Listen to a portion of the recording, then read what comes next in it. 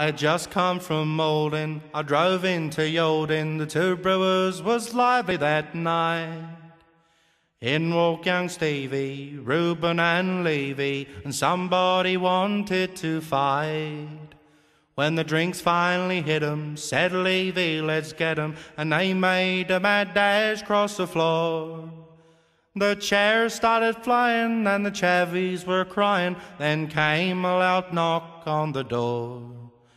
Was the gavers a standing outside? Four big red faces, hobnails and braces, and the travellers was still in this fight.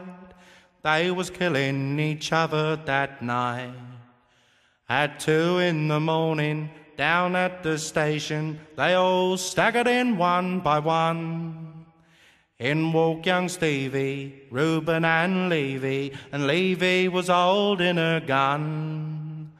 At four in the morning, the old sergeant was yawning when the final statement was read.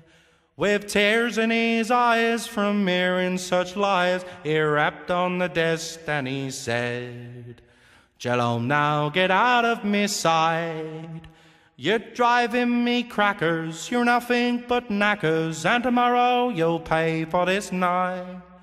You wish you hadn't have started that fight. The next Monday morning, in Maidstone Crown Court, the travellers they sat back to back. In there was Stevie, Reuben and Levy, and over the back Uncle Jack. They was all fined a fiver by a judge called Conniver, and they jowled out once again. They said, What we'll do, we'll have us a few. They went back in the brewers again. Oh, the brewers was lively that night. Singing with Stevie, dancing with Levy, and the travellers was all getting tired. Yes, the brewers was lively that night, and the children was making the sight.